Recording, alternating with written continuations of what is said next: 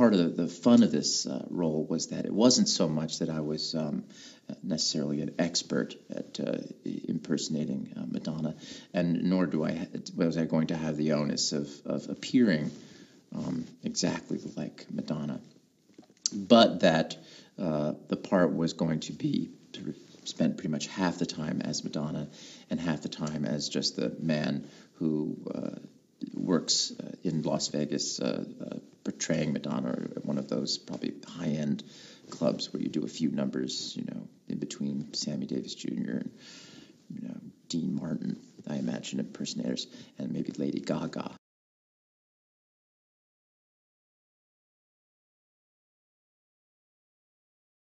Kevin Kline plays Sam, uh, who is on a mission to uh, to bed uh, anything.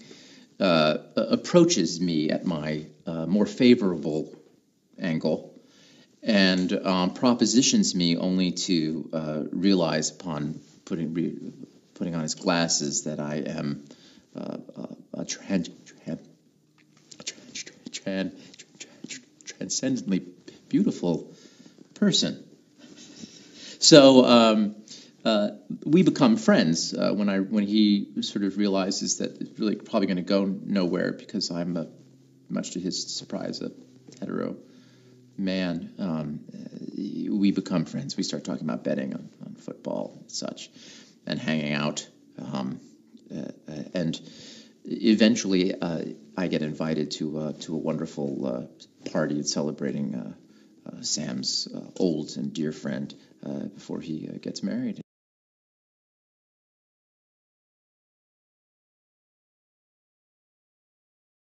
For all of the people who dedicated you know months and years of their life to to learning Madonna's choreography will look at me doing this role and think, why, why, what happened?